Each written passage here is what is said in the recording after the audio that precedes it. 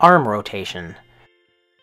With your right hand on your thigh, raise your left arm and begin to rotate it forward on its axis, keeping the arm straight.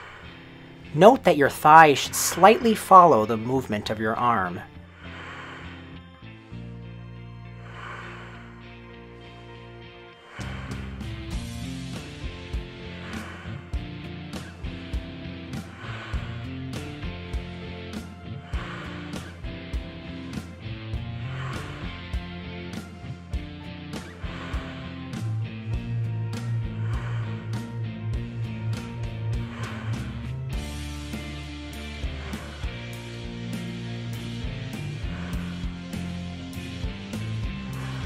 Be sure to keep your hand in a fist while rotating your arm.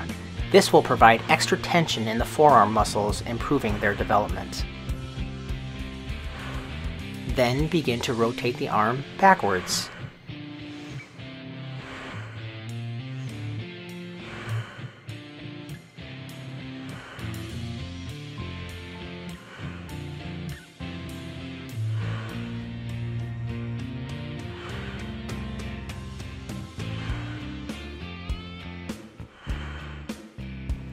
This exercise also helps relieve any tension in your shoulders, often resulting from extended periods of sitting at a computer or driving. Headaches associated with shoulder stiffness and tension may also be prevented as a result of this exercise.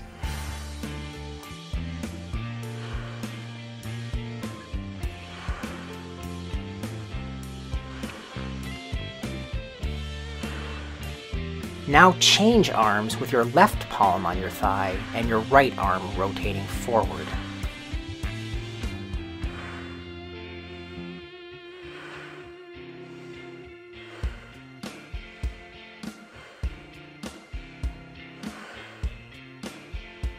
The rotation of the arm loosens the shoulder muscles while increasing blood circulation.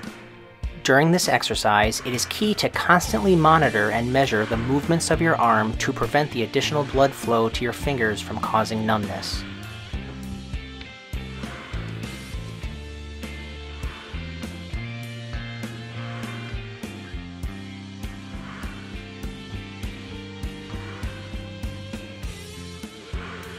Then begin to rotate the arm backwards.